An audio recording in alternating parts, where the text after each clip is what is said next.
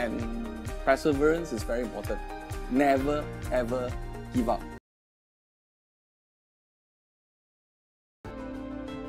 For new entrepreneurs who would like to come on board to start your own business, it is no harm to try a small little online business from your home. I like to eat problems because basically every day is problems. When we eat it, we digest it, will become our energies. My advice to other entrepreneurs is go online, go e-commerce.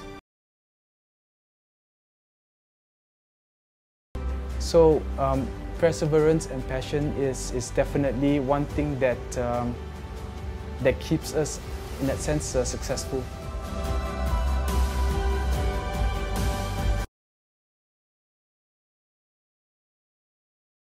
Um, and everyone can be a successful e-commerce seller.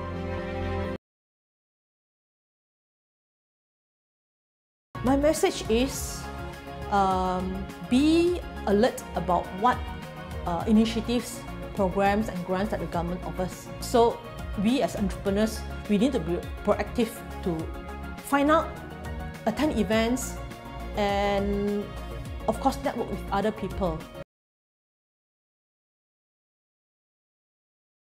I feel women are supposed to go out there, whatever God gives you, your talents, use them, you know, for the good of, of the world and still look presentable.